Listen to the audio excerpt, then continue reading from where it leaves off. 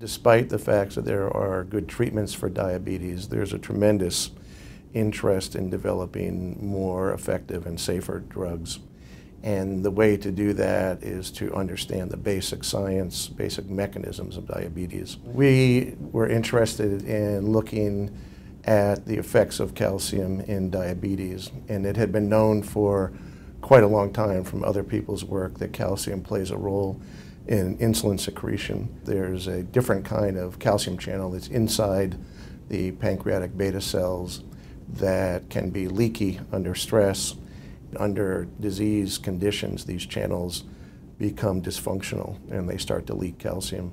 What's very exciting is that my laboratory has developed a new drug that can fix the leak in that channel and is in trials now for patients with heart disease and muscle disease.